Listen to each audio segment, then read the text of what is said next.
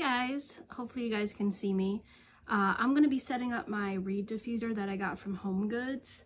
So I'm going to be placing it right here, uh, right next to my warmer. Uh, yeah, you get the point. Um, so this is from Morgan and Grace Aromatherapy.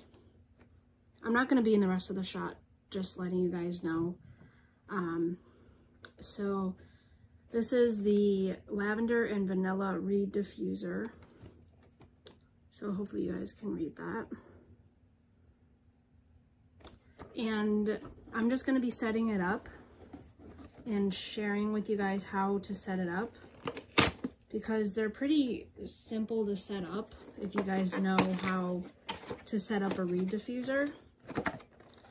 And this was, how much was this? This was only $7.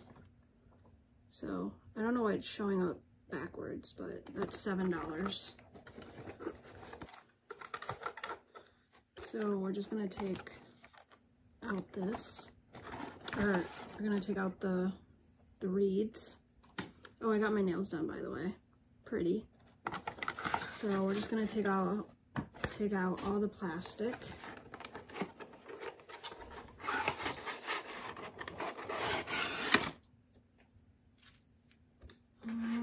That's it. So, oh, there's like something at the bottom. Oh, they're little like crystals, if you guys can see that.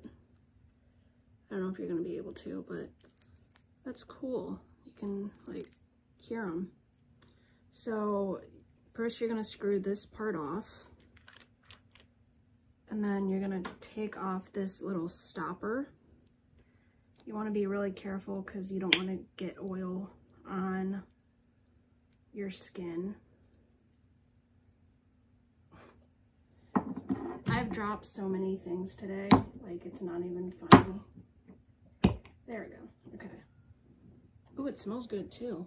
Okay, so once that's off, you're going to screw this gold piece back on.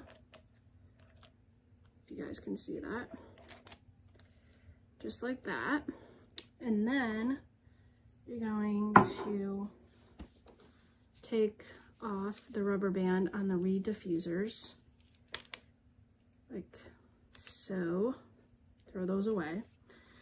And then you just plop them in, just like that. And then you spread them out so they can evenly get mixed and voila, there's your reed diffuser.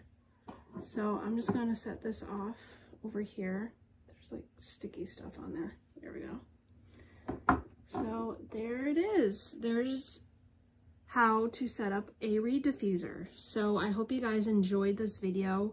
Sorry I wasn't in the video. Um, I just wanted to share with you guys the reed diffuser. Um, I love the little crystals that are at the bottom. So hopefully I can take those out and use them in one of my candles.